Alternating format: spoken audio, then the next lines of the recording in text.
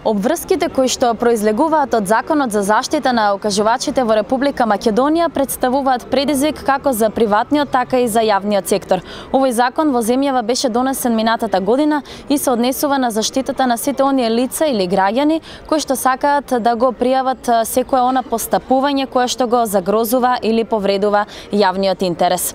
Господјата Слагена Тасева, која што е председателка на организацијата Transparency International Македонија, учествуваше во донесувањето на овој закон лани, па со неа зборуваме за тоа каква е ситуацијата во Македонија една година подоцна. Добар ден, господјо Тасева. Како што веќе рековме, укажувачите се лица кои што пријавуваат постапување што го загрозува јавниот интерес. Најде малку подетално околу ова, кои се се оние лица кои што може да се јават во улога на укажувачи? Во улога на укажувач може да се јави секој. Значи, не само вработен во институцијата, во јавниот државниот сектор или во приватниот сектор, затоа што убаво рековте и приватниот сектор има обврска, сите компании кои што имаат повеќе од 10 вработени, треба да имаат лиц, определено лице за прием на пријавите од укажувачите, а пријавувач или укажувач може да биде секој, И кога зборуваме за тоа дека лицата треба да постојат во институциите, тоа не значи дека треба да се пријавува или може да пријавуваат само вработените.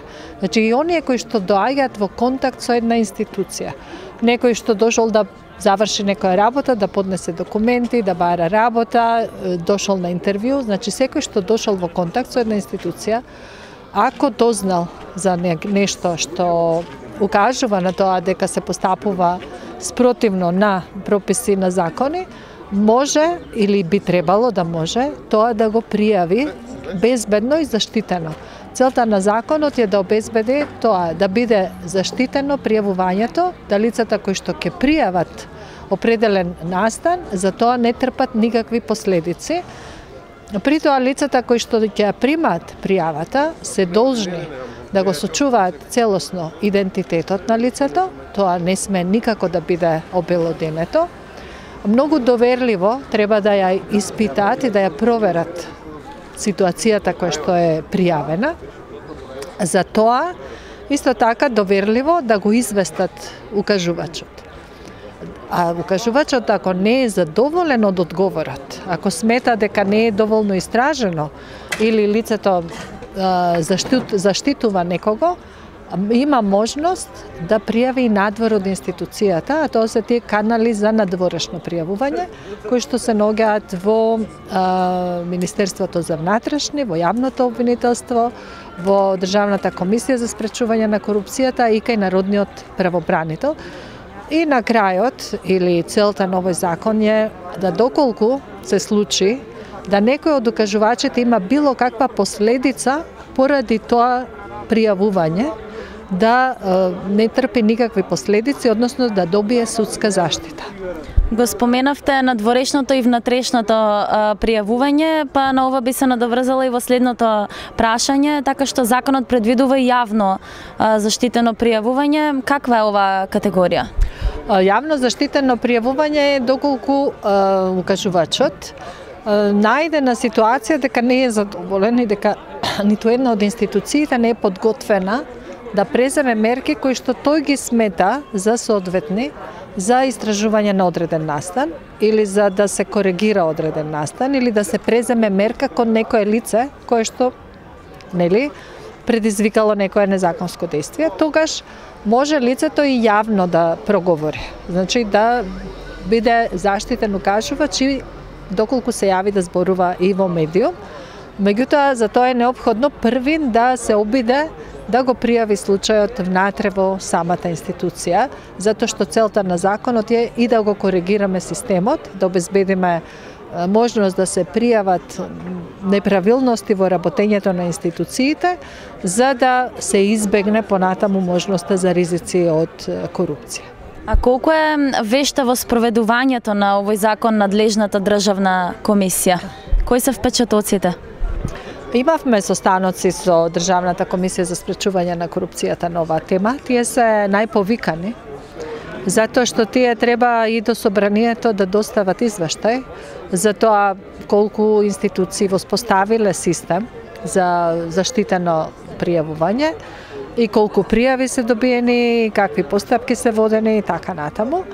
А, меѓутоа, за жал, тие не се многу активни, имаат лице определено внатре, меѓутоа се уште ги нема потребните информации на нивната веб страна, ниту пак имаат доволно искуство тоа да го направат.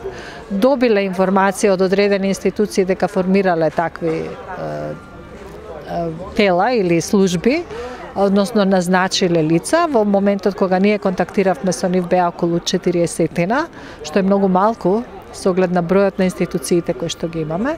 И морам да кажам дека приватниот сектор е малку позаинтересиран и поактивен во оваа смисла. Затоа што имавме контакти со стопанските комори, им државме обуки, за да ги информираме луѓето од стопанството, од бизнисот за обврските кои што ги имаат за според овој закон. И тие беа малку поагилни и позаинтересирани и таму ќе најдете поголем број на определени лица за пријавување и многу потранспарентно објавување на имињата на лицата кај кој може нешто да се пријави. Меѓутоа, мислам дека тоа е заради опасноста од казна. Затоа што за институциите кои што нема да определат лице, предвидена е казна во законот, а приватниот сектор повеќе се плаши од тоа затоа што ќе му дојде инспекција отколку што тоа го е стравот кај јавниот сектор кој што вика немам услови за тоа. Затоа што да имаш лице кај кое што ќе може да се пријави треба да му обезбедиш услови. Тоа лице, лице треба да има канцеларија, компјутер, можност безбедно да се влезе кај него, односно кај нас велиме тешко ќе се сокрие било која тајна и да може да се влезе незабележано или безбедно и да се пријави безбедно, сите тие услови треба да се обезбедат.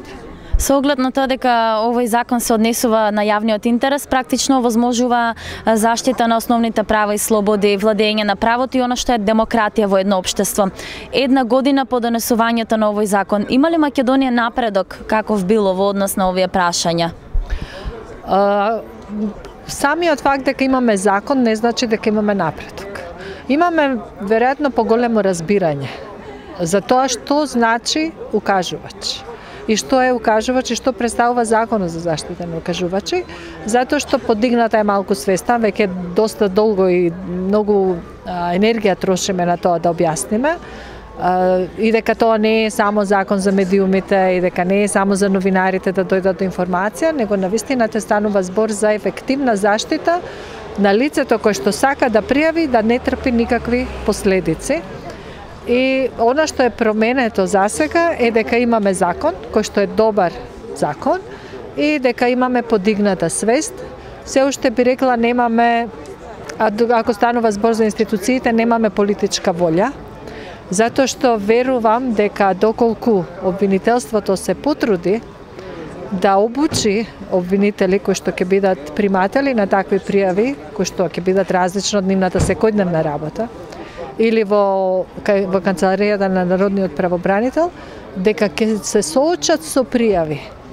Меѓутоа, тие се уште тоа не го направиле и мислам дека мораме ние да бараме од институциите да ни обезбедат да го користиме ова законско право. Ви благодарам господја Тасева на двојното време и внимание.